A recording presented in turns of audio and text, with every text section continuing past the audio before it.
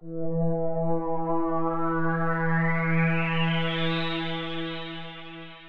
afternoon. Sorry I'm a little bit late, I apologize. Um, Well, we, looking forward to being at home. Uh, We just came off a weekend, we had a good weekend against, or out at Creighton, out in Omaha. Uh, I felt good about the way we played.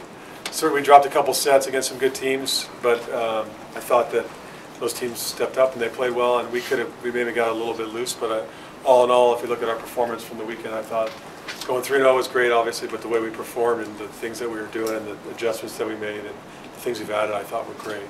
But we are looking forward to being home, being back at Huff. Uh, You know, it's an exciting place, and when it's rocking, it's got to be the loudest place in the country. It's got to be one of the more exciting venues to be a part of, and I think we've missed that. It feels like it's been months since we played in that, in that arena, and so um, really looking forward to that.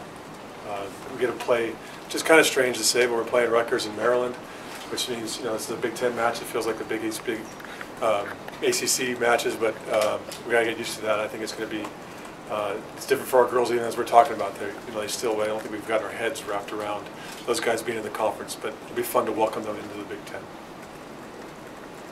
That's what I got. Do you have any questions for me? I know players obviously change teams, you got to prepare for each team, but what's it like preparing for these programs who you haven't seen as closely as some of the other Big Ten teams?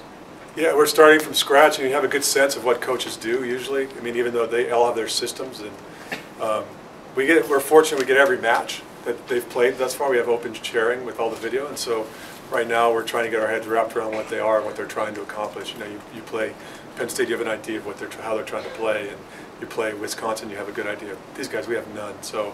Um, it'll be a little bit of a kind of a work in progress for us as far, far as trying to figure out their systems. But it comes down to the players at the end of it too, just how, what, what players execute. And against most teams, if we execute the way that we feel like we can, then we should be fine against just about any team in the country, and that's will be our main focus. But certainly, um, things that we're going to struggle stopping, it's going to take us a while to get our heads wrapped around those teams.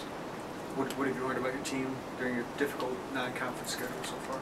Yeah, I, I think we've learned a ton, more than we want to spend on this press conference. But I think the things that we, when we have balance offensively, we're, we're really tough to stop. And we've put up some numbers that we haven't put up in my time. We've been, we've been defensive oriented, and, and sometimes that means because we had to be, we had to grind it out. And I feel like we can do both now. We can, we can play some great defense. Maybe it could be one of my best defensive teams because of the physicality. But offensively, right now, it's for sure the best offensive team I've had. The numbers, well, I think will show more as we get into the Big Ten as we really start to steady out. But I really like what we can bring on, you know, both both of those aspects. You don't always have that. Usually, you have great defensive teams or great offensive teams, and that gives us a shot to compete against everybody, which is exciting. How's Morgan playing? Morgan's played great. She's had a couple.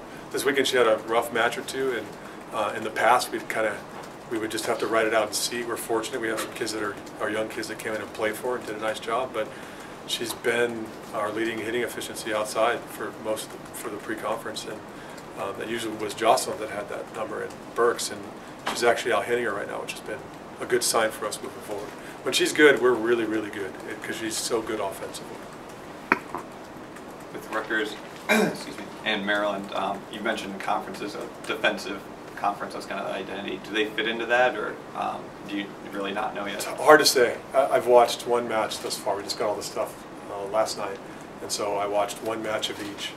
Um, it's hard to say. You know, the, the, one of the coaches, the coach from Maryland, was at Penn State last year as an assistant, so he's still trying to get his system in place with those guys. And I, I would I would be surprised if they don't have more of a Big Ten mentality, where the ACC is very much is much more offensive. So it's hard to say.